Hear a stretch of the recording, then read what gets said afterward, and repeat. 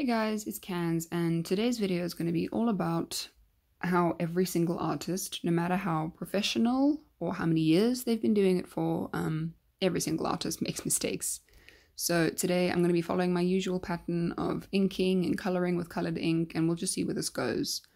Um, we are drawing today a lovely skull, spider web, and flower and girl drawing. Um, I'll talk more about the meaning behind all of this though later. For now, I've just erased the outer sketch. You can see a close-up of it there. Um, I really enjoyed drawing the sketch, and now I finally get to ink it with my FW acrylic ink in black. Um, I always find the close-up inking to be seriously satisfying, but I haven't really got that set up sorted just yet for my own vlogging, I suppose. Um, so for now, you just get to see that beautiful, juicy black ink line.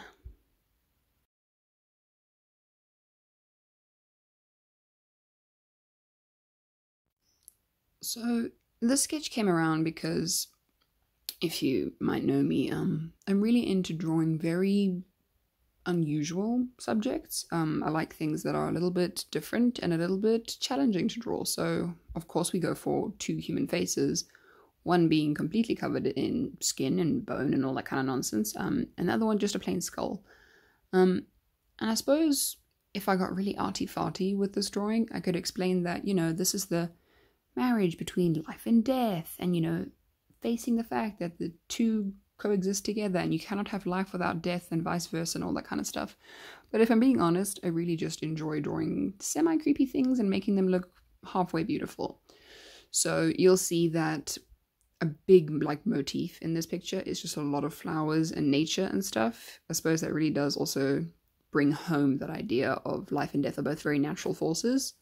Um but yeah, and I've had lots of practice drawing skulls before in my own artistic history, shall I say.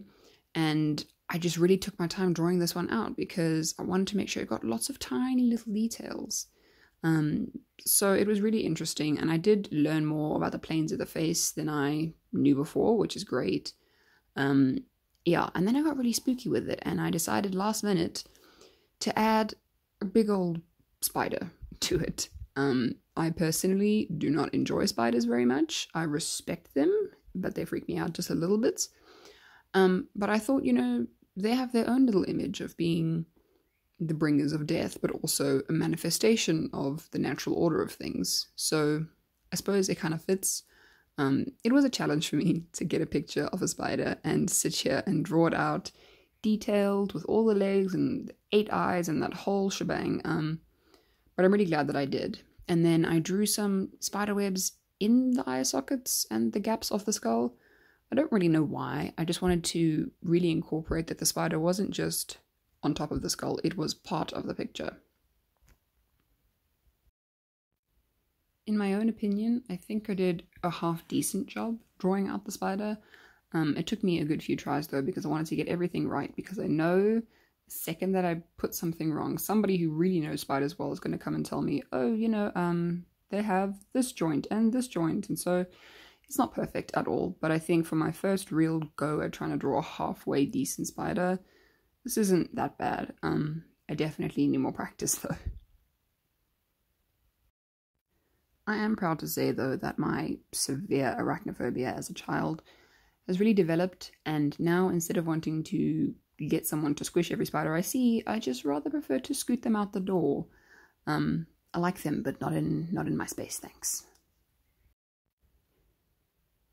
Now here you're seeing me inking in one of the daisy-like flowers. Um, I remember when I was sketching this, I originally wanted it to be just your typical yellow and white daisy. Um, because I think they're cute and they're simple, and yellow is my number one color. So I really tried to just incorporate that into this. My little leaves and stems that I found somewhere on Pinterest. I don't know if I can find the picture. I will let you guys know. Um, so yeah, the flowers are a big part of this picture. I really wanted to create my favorite very dark, dark, dark background and to put these bright, like almost luminous things on top of it just to make it stand out again that like idea of dark and light coinciding and belonging together. And yeah, I really did just enjoy the shape of these flowers and leaves and how much fun they were and trying to fill out all the space because I really wanted this picture to be seriously busy. I personally love art where you can look at it for hours and hours and hours and you will still find new things about it. I haven't gotten to that level myself yet, but I really want to push myself to do more and more detailed and full pictures because I just think that they they're beautiful and they're interesting, you know. So this flower here is, I think, a peony. Um, it's basically my typical fancy flower that I go to to draw whenever I'm looking for something, you know, a little bit more pizzazz. Um, so basically the way that I drew it would to be outline each of the petals and then throw some lines in there just to create that semi-realistic look. Not realistic, more like a tattooy kind of look, which I think was fun because skulls and flowers go really well together in tattoo art, and that is something that I definitely am always interested in. Um, here you can see me doing some more petals, and I really focused on doing just this half of the picture first because I wanted to make sure it was jam-packed before I worked on the other half, which is the girl or woman or lover or however you want to interpret it, life, I suppose. Um, and when this side was really fully, fully packed with just things to look at and lots of different elements, I was able to move on to the second side. Now, um, sketching out this girl's face was not easy. I originally actually meant for this page in my sketchbook just to be me practicing profiles, and I ended up getting this idea of drawing this girl, um, and I spent forever trying to get her, like the planes of her face right. And then when I had her drawn, I thought, you know, she needs to be looking at something, and that's when the skull came in, and everything kind of just fell into place. So this was really, really fun. Um, also, I think I found my reference image on Pinterest. I will link it for you guys if I can find it. Um, I really challenged myself trying to draw lips from a three-quarter angle because I can never do that. Um, and adding in a fringe or bangs because I've actually never really done that in my own art before. So this picture was really about pushing my own limits to the nth degree.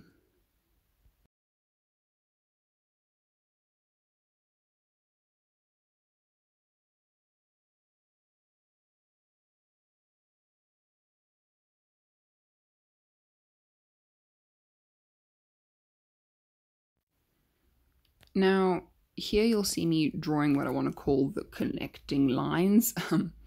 Basically, I kind of just instantly thought, when I was thinking, how am I going to make these two become one picture? I immediately thought of like brambles. I don't remember which, I think it's Briar Rose, the fairy tale about the girl whose whole cover castle gets covered in brambles. I think it's Sleeping Beauty. I don't know. I immediately thought of brambles, um, just because I think you know they kind of symbolize like being stuck in place or being tied to something. Um, so I wanted to just literally tie these two images together. But obviously I added some curls and some twirls because, you know, you got to make it cute, I guess.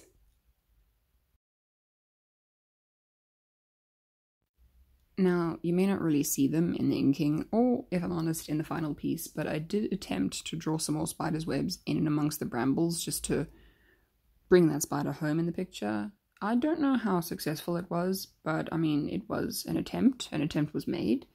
Um, and I think that it just filled up that middle space and made it just a bit more busy the way that I was intending it all to look. Um, now you can obviously see me doing my favorite trick of blacking in absolutely everything in the background. And if you look closely, you'll notice this is a really dumb mistake. Um, that first block that I just colored in was actually part of the skull, and I should have left it white, but I did not. And I only realized this a couple minutes later, and I just decided, you know what, I'm going to leave it in there. Um, art doesn't really have to be perfect. Little did I know the escapade I would get up to in the second half of this video. So yeah, I blacked it all in, really just to help my own brain as well to define which shapes meant to be colored in and which were meant to just completely be ignored. So I love blacking in, again with my acrylic ink in black, and yeah, it was fun.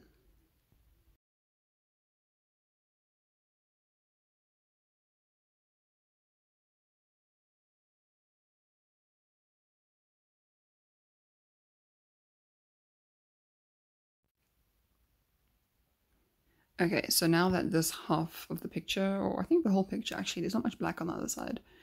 So now that the picture's been blacked out in the background, I took a very light wash of the ink and started trying to create some sort of shadows on the skull, but it was kind of difficult if I'm honest because there were so many things overlapping with the skull and interrupting its normal shapes. So I really tried my best. Um, but it was just a little bit tricky, and then I had to figure out how to make this spider look black without completely meshing it into the background um, or leaving it too pale and unnoticeable. So I, off the bat, already started having struggles with using ink to color this picture in.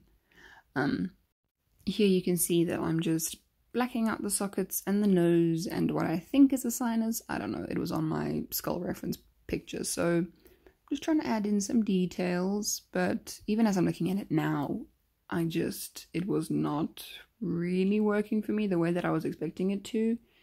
It, I was too scared to go too dark, but I ended up being too light, and it was just not a fun time. I even tried to make extra layers, especially on the spider, and it was just a mess.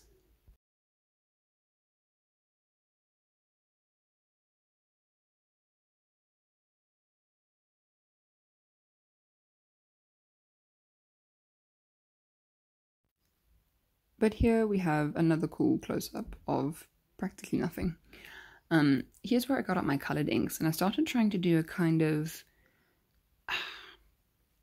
abstract color pattern, color palette for this girl's face. Um, and at first I was pretty halfway confident. I watered down some yellow and I started to color in the planes of the face, and I thought, you know, this could work. This could go down really well.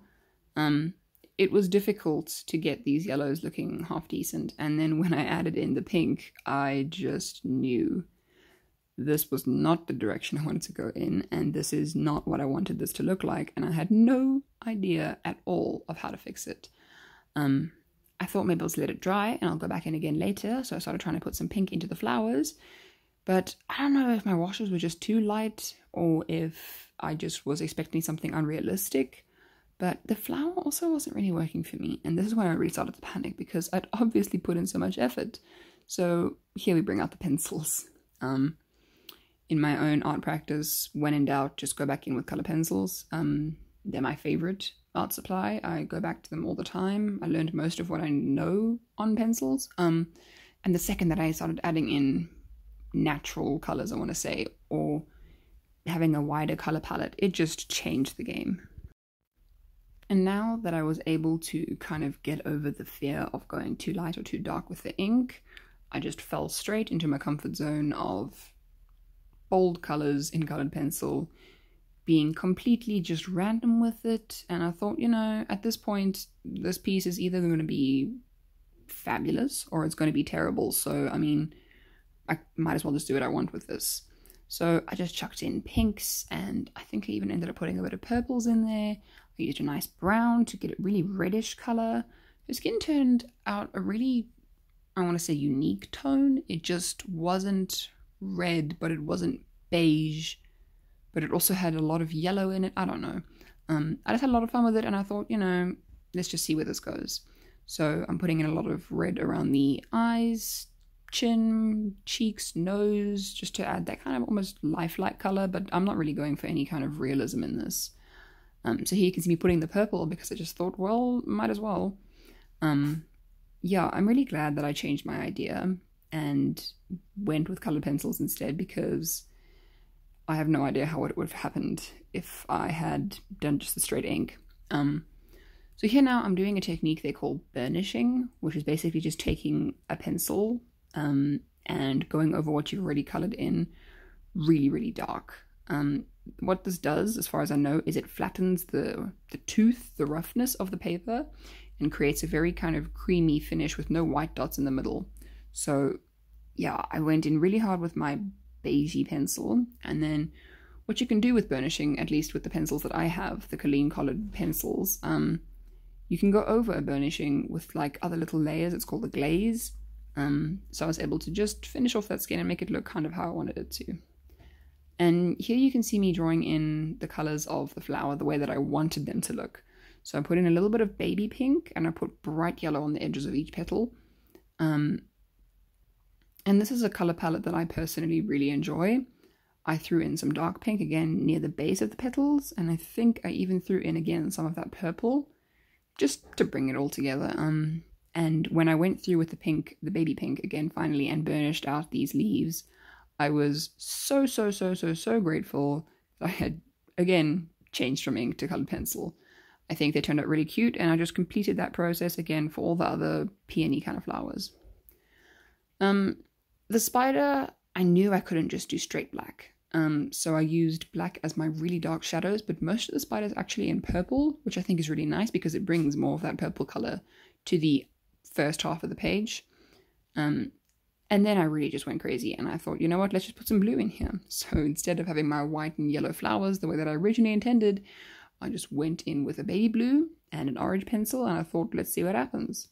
And then I thought, let's see what happens if I put my neon pencils onto this as well. So I grabbed them. I've got about six in my set. They all have the black stripe on them. And I just went to town and I just put neon everywhere. And by this point, I was starting to feel like maybe I had saved the picture and maybe it could turn into something I really like. Um, even though it was a bit funky and it was a bit, I want to say, technicolor, I really just was so grateful that this was starting to look half decent. Because again, like I say, I'd spent a lot of time on this already. I didn't want to just scrap it and start a new thing. So I've just grabbed, I think, three different kinds of green. Um, my neon green, a medium kind of leafy green, and then a nice dark green because I'm going in now and coloring all of the stems in the same color palette. So I start off with just taking that medium green and taking it from the base of each leaf and bringing it out to the middle of each leaf and then shading in with the dark green one. Um, originally, I wanted to use the neon green to add highlights to the ends of these leaves, but it just wasn't doing it for me. So I thought, you know what, yellow. And I'm glad that I did because it makes the leaves really bright and look really, really like summery and sunshiny. And that is exactly the kind of vibrancy I wanted for this. So I repeated that with all of the other stems of leaves in this picture. And now I'm going in for the like wild peony leaves, which I chose to do in a kind of turquoise, maybe to kind of marry the blue of the daisy-like flowers and the green of the stems um, so I had a medium turquoise and a very deep turquoise, and then I put bright blue on the ends. Um, this picture is in no way meant to be realistic. It is just something that I had an idea for, and it went completely in a different direction. But I kind of had fun with it, and it was fun to experiment. So here, I'm trying to put some white back into the spider because I thought it was just a bit too dark, but my white colored pencil is not exactly as efficient as I thought it would be. So I kind of just yeah, it didn't work out well for me. So after the epic failure of the white pencil, I got my mom's acrylic markers and started putting in just straight paint highlights. This is where I actually went in and got a hold of my inks again, even though they had failed me miserably earlier on. I had a nice brown ink that I hadn't actually used before, and I thought, you know what, I'm going to give her brown hair. And I really enjoyed it because this wasn't just a normal brown, it was a very reddy brown. It was very warm, so it added a whole new level of colors to this picture, in my opinion. Um, I didn't bother making it too perfectly shaded in. I didn't really mind it being choppy. I kind of wanted that look. I always find it very cool. And then I went in and colored in the brambles with that very same purple that everything else has some of this purple in. Um, it was hard to identify like what were brambles and what were spider webs. It was just getting a bit too muddled in my brain. Um, but I used the purple as well to just go back in and add those very faint little shades of purple back onto the spider just to complete the lightening up of it. And this is the final piece, I guess. Um, I hope you had fun and thanks for joining me.